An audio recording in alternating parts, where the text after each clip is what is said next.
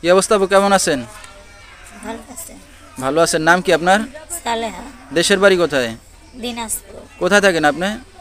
আমি নবীনগর গ্রাম আচ্ছা কে কে আছে ফ্যামিলিতে? ভাই আছে মা আছে। আচ্ছা আর বাবা? বাবা ফালিয়া দিয়ে বিয়ে করছে। আচ্ছা আপনার মা কি করে এখন? মা অসুস্থ। আপনি কি করেন?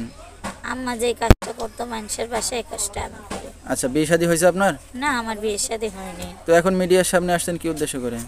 একটা ভালো মনের মানুষের জন্য আসছি যে আমার পর্দার সালে চলাইতে পারবে পাঁচ ওয়াক্ত নামাজ পড়াইতে পারবে দুবেলা দুমুটো ডাল ভাত খাওয়াইতে পারবে। আচ্ছা তো এখন এই যে কেউ যদি দায়িত্ব নেয় তাহলে কি বিয়ে শাদী করবেন এখন? হ্যাঁ বিয়ে শাদী করব অবশ্যই। আচ্ছা তো দর্শক ভাইরা কীভাবে যোগাযোগ করবে আপনার সাথে?